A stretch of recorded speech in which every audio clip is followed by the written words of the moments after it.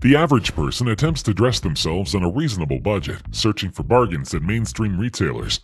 Others attempt to recycle textiles and buy their clothes secondhand at thrift stores. But for the ultra rich, clothing is a sign of status, and luxury brands are an essential way to express wealth. From French designers to Italian imprints,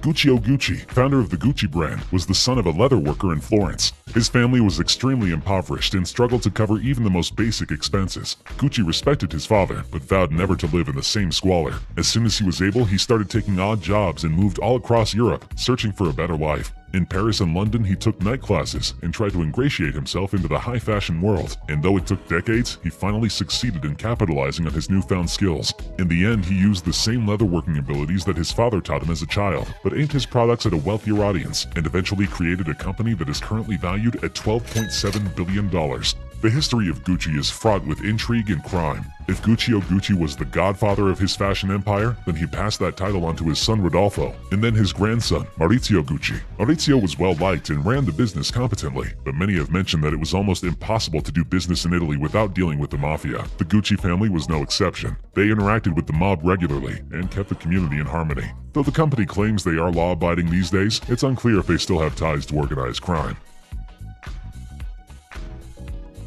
Thierry Hermes started this family business in 1837.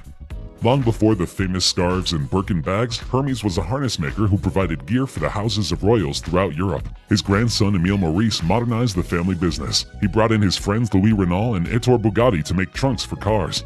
Emile Maurice also diversified the company into furniture, belts, and couture. But it is Jean-Louis Dumas, a descendant of Thierry Hermes, that is credited with turning Hermes into a global giant in luxury fashion.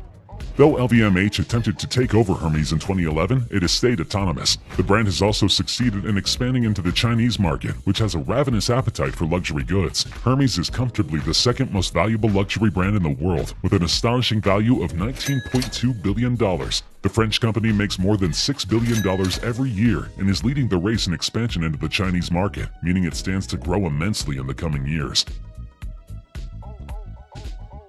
Louis Vuitton is debatably the most classic clothing brand in the world. It has been a staple of celebrity fashion for more than a century, with patrons ranging from Audrey Hepburn to the Empress of France.